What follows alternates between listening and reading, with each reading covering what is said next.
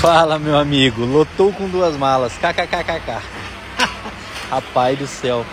Olha aí as duas malas. E o carrinho, olha o tamanho do carrinho. Isso é porque eu tenho dois filhos só, filha e um filho. Imagina se eu tivesse.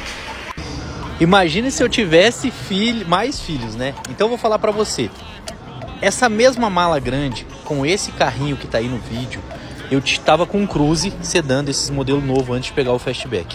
Cara, só pra você ter ideia, a gente fez uma viagem para Curitiba, que é a capital do estado que a gente mora, e o carrinho teve que ir desmontado no banco traseiro. Eu só tinha um filho, minha esposa estava grávida, não tava, só tinha a Manuela, só não tinha o Samuel ainda.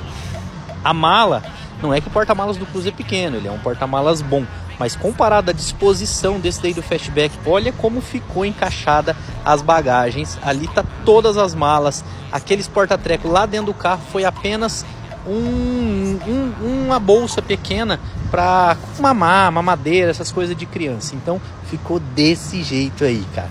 Imagina se eu tivesse mais um Fiat que eu tenho que comprar um carro de 16 lugares, uma Ducato daí para caber a família inteira, porque nós quando viaja leva uma mudança, né?